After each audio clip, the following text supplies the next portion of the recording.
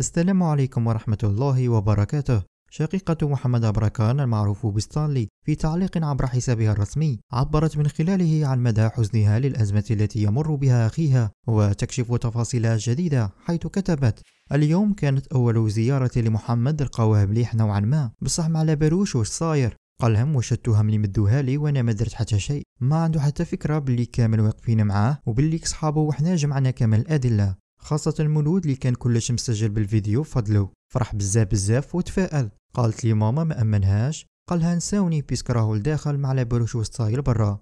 وقبل أيام علقت والدة الشاب محمد عبر أحد الحسابات عبرت من خلالها عن مدى حزنها للأزمة التي يمر بها وتدعو محبيه بالدعاء له حيث كتبت لكل من يحب ابني محمد أدعو له ربي يفرج كربته ويخرجه من هذه المحنة وأن يجعل ما أصابه في ميزان حسناته. فهو إنسان طيب ويحب الخير لكل الناس. لم أعلق لمحمد يوما ولكن الآن الجرح ينزف والقلب يعتصر حزنا على محمد. أقبل على الدنيا مثل الطفل الصغير فردته بقوة ودفنت أحلامه وضحكاته في غيابات السجون. لا يسعني في هذا الظرف سوى قوله تعالى ربي مسني الضر وأنت أرحم الراحمين لك الله يا ولد الدنيا والعدم من دونك سواء. أمك الحبيبة. للإشارة بأن محمد هو من مدينة الحراش والكل يشهد له بإخلاقه الكريمة وحسن تربيته.